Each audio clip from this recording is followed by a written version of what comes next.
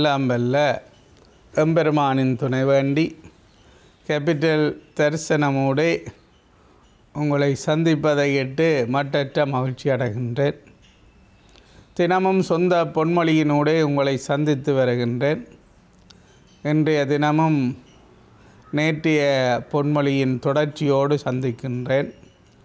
இடங்கிய உள்ளமே இறைவன் வாழும் இல்லம். இடங்கிய உள்ளம்.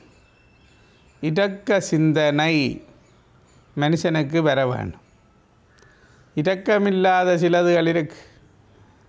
ஆம்பளையில் சில பேரை பேசுவார் இடனியன் இடனியன் மாரி அடிக்கிறான் எனக்கு காதை மனைவி மேருக்கு காலால் ஐயால் உதைக்கிறாக்கள் யாரும் இருந்தால் கேட்டுக்கொள்ளுங்க. உங்களை நீங்கள் போன பிறகு மனைவி வீட்டு இருந்து தான் பேசுகிறது உன்னுடைய பேர் நல்ல வடிவான பேராக இருக்கும் ஆனால் அவன் உனக்கு வச்ச பேர் இரணியன். இரணியன் அடிக்கிறான். இரணியன் உதைக்கிறான். அப்போ அந்த கோட் நேம் எல்லாம் உனக்கு தெரியாது. நீ போடுவ வேலைக்கு. இப்போ வீட்டை இருந்து தாங்க அதை இரணியன் வந்துட்டான். வந்தோடனே அது உனக்கு தெரியாது. பேர் பிள்ளைகளுக்கும் உண்ட மனைவிக்கும் தான் அந்த பேர் தெரியும் கோட் பாஷை. இரணியன் என்றால் உண்ட பேரண்ட் அப்போ ஏனது வருதுண்டா இரக்கம் இல்லாமல் காலால் ஐயால் கொடுக்குறபடியால் அந்த பேரை பெற்றுட்டேன். சில பெண்களுக்கும் சில பேர் அப்படியே வரும் பேர். சில பெண்களை பேசுவார்கள்.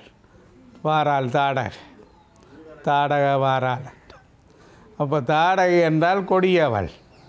அப்போ தாடகை அப்போ சில பெண்கள் அப்படியே கொடும் இரக்கம் இல்லாமல் கொடுமையாக மாமியார்கிட்ட தலைமையை பிடிச்சு முறுக்கி மாமியாருக்கு அட்டி அட்டி அண்டு அடித்து கிளவி குளறு குளறண்டு குளறி உலகத்தில் உள்ள ஜனம் முழுக்கையில் ஓடி வந்து பார்க்க கிளவிக்கு போட்டு கும்பு கும்மாண்டு கும்மினால் உன்னை ஒரு நல்ல பெண்ணாக இணைப்பார்களா? இல்லை. உனக்கு அம்மா அம்மா நல்ல அம்மா அழகிய பேரை வச்சிருப்பா. ஆனால் தாடகை என்று தான் இங்கே கூப்பிடுவார். வாரால் தாடகை என்ன நடக்க போதோ தெரியல. ரெண்டு ஜனம் பயத்திலே ஓடி ஒழியும் அப்போது இரக்கமில்லாதவர்களுக்கு நல்ல பேர் இல்லை. இப்படியான பொது பேர்கள்லாம் வைப்பார்கள். அப்போ சில பேர் சிரிக்கிற மாதிரி இருக்கு. கணவன் மனைவிக்கு அடிக்கிற கணவன் மேருக்கு இதுதான் பேர் இரணியன். மனைவி மேர் உள்ளாதவள் என்றால் அவளுக்கு பேர் தாடகை. பொது பேர் இப்போ நீங்கள் அதில் எந்த வகையில் உங்களோட சொந்த பேரை பாதுகாக்க போகிறீங்களோ இல்லாட்டா இந்த பொது பேரை வச்சிருக்க போகிறீங்களோன்றதை நீங்கள்லாம் டிசைட் பண்ணணும். அப்போது நீ உங்களுடைய இறக்க உள்ளத்தை பொறுத்து தான் பேர்கள் மாறுபடும். எனவே தான் இந்த இடத்திலே நேற்றைய தினம் அந்த இடக்க சிந்தனை உள்ள உள்ளத்தில் இறைவன் இருப்பார் என்றதற்கு உதாரணமாக ஒரு கதை பார்த்திருந்தோம். தி உபயகாரர் திரு திருவிழா உபயகாரால் பெரிய ஒரு வாழைக்குலை ஒன்று தண்ட திருவிழாவுக்கு கொடுத்து விடுகிறது ஒரு கூலியாளிட்ட. அவன் அவனளவு வேறும் வாழைக்குலை. அவன் இயலாமல் அப்படியே தோல்லை அடித்து கொண்டு போகிறான் பசி வேறு. காலையில் சாப்பிடவும் இல்லை அப்போது பார்த்தான். தெய்வத்துக்கு சொல்லிட்டு நான் இதில் ரெண்டு பழத்தை நான் அடிப்பேன் வந்துட்டு. மரம் மர இடமாக போய் நின்று ரெண்டு பழத்தை பிச்சு சாப்பிட்டுட்டேன். இரவு கனவில் இந்த திருவிழா உபயகாரட்ட கனவிலே அந்த தெய்வம் வந்து அம்மன் வந்து நீ தந்த ரெண்டு பழங்களும் நன்றாக சுவையாக இருந்தது என்று. உடனே இவருக்கு விளங்கிட்டது மற்ற பழங்கள் அப்போ இவன் அபேஸ் பண்ணிட்டான். என்று விட்டு உடனே இவனை கூப்பிட்டார். நேற்று ஒரு குலை வாழைப்பழத்தை நான் உனக்கு தந்துவிட நீ அத்தனை வாழைப்பழத்தையும் அம்மனுக்கு கொடுக்க இல்லைன்னு அப்பனுக்கு கைகால் இல்லை நடுங்கு. ஒரு தரும் காணையில் வாழைப்பழம் தின்றது இந்த மனிதனுக்கு என்னென்று தெரிஞ்சது? பக்தி உள்ள மனுஷனா? அண்டு இவ்வன் திகைச்சு போனேன். அப்போ அவர் கேட்டார் ரெண்டு வாழைப்பழம்தான் நன்றாக இருக்கிறது என்று கனவிலே அம்மன் சொல்லியிருக்கிறார். ஏன் நீ மற்ற வாழைப்பழத்தை கொடுக்கவில்லை? ஏன் அதுகளை சாப்பிட்ட அதுக்கு அவன் சொன்னான் எசமான் மன்னிக்க வேணும் என்னை. மன்னிக்கிற மட்டுமில்லை உன்னை மன்னித்து கொல்ல வேணும். ஏன் சாப்பிட்டாய்? இல்லை எசமான் நான் சாப்பிட்டது ரெண்டே ரெண்டு பழங்களைத்தான். அப்போதுதான் இவருக்கு மூளை திறந்தது. அந்த ஏழை சாப்பிட்ட ரெண்டு பழங்கள் தான் இந்த தெய்வத்துக்கு இனித்திருக்கிறது.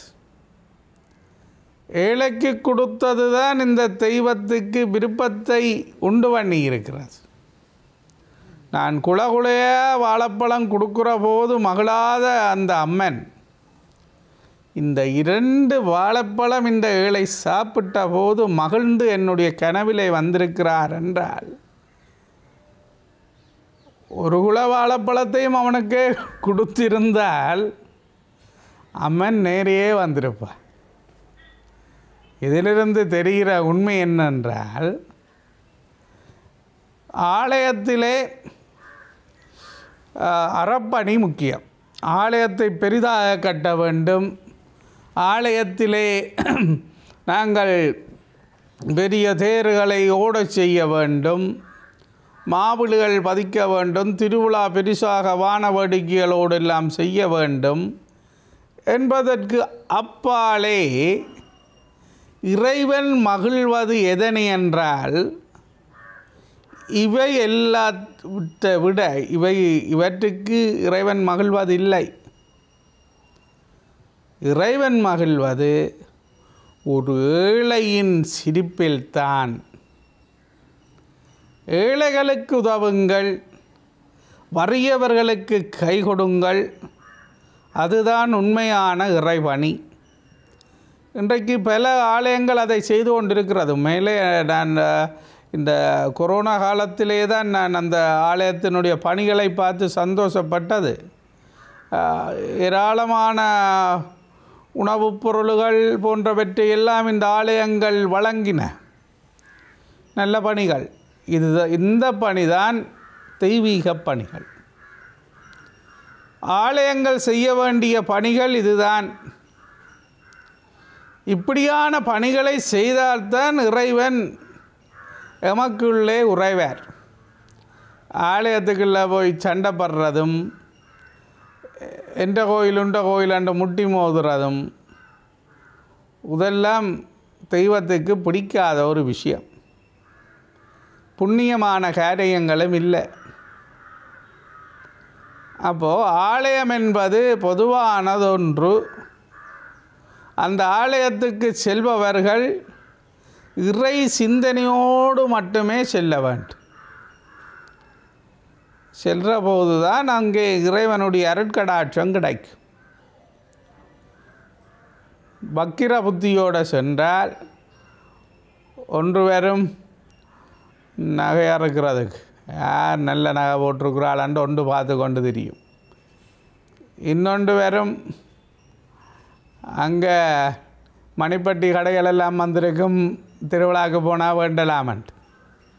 இன்னொன்று வெறும் வான வடிக்கைகள் பார்க்குறதுக்கு.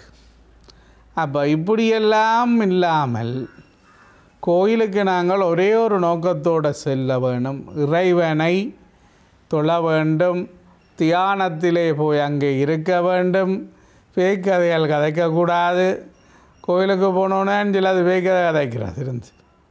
வீட்டு கதை குடும்ப கதை ஊர்க்கதைகள் எல்லாம் பேர் சிலது அப்படித்தானே. கோயில் அடி என்ற காணும். ஒரு மரத்து கீழே இருந்தால் உள்ள பாவக்கதைகள் எல்லாம் கதைச்சி கொண்டிருப்பான் கோயில் மரத்துக்கு கீழே இருந்து இது அவனுடைய சந்ததியே வாழ விடாது.